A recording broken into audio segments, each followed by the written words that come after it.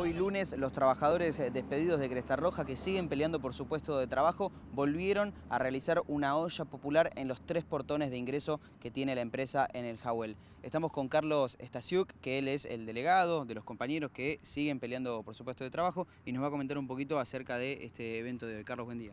Hola, ¿qué tal? Buenos días. Bueno, hoy nos volvemos a, a juntar los compañeros de Cresta Roja junto a las organizaciones que nos vinieron a dar su apoyo para hacer una olla popular en reclamo de los 2.000 puestos de trabajo, las 2.000 familias que están en situación de calle. Necesitamos una urgente medida del gobierno nacional y provincial que tome una, una, decisión para que volvamos a tener nuestro puesto de trabajo. Es sostenible esta situación, ya no se la puede aguantar más.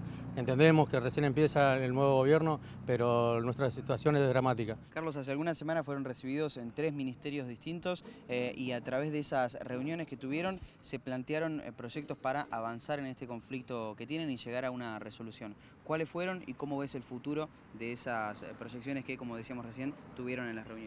Sí, nosotros obviamente nos juntamos con los ministros de Trabajo, de Producción y Desarrollo Social para bueno, comentarles más o menos la problemática que estamos atravesando los compañeros de Cresta Roja y también obviamente llevamos varias propuestas como para poder eh, eh, volver a nuestro puesto de trabajo. Eh, o que la estaticen o que le hagan una cooperativa, pero algo nosotros queremos trabajar. Eh, estamos muy agradecidos con toda la ayuda que nos dan todas las organizaciones, incluso el municipio de Esteban Echeverría, pero nosotros no queremos vivir toda la vida de esto. Nosotros tenemos hambre, pero hambre de trabajo, no tenemos más hambre de comida. Ya nuestra necesidad eh, pasó todos los límites y obviamente necesitamos volver a nuestro puesto de trabajo y cuanto antes que se resuelva va a ser mejor para nosotros y nuestras familias.